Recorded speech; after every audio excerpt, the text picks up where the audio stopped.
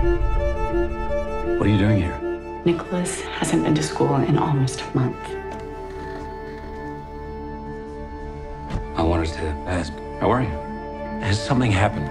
You realize the school is talking about expelling you. Can I live with you?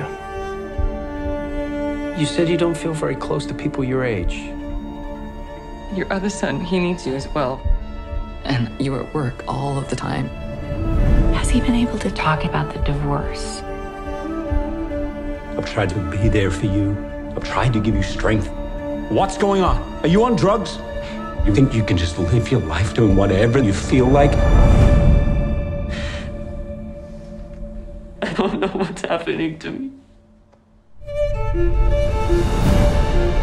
I feel like a complete failure.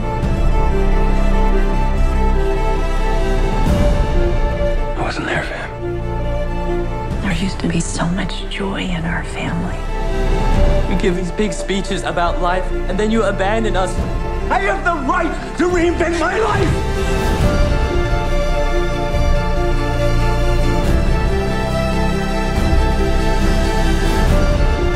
Hello, son. You came to tell me what a good dad you are? What do you want? Applause? That's my little boy. Can't give up on him.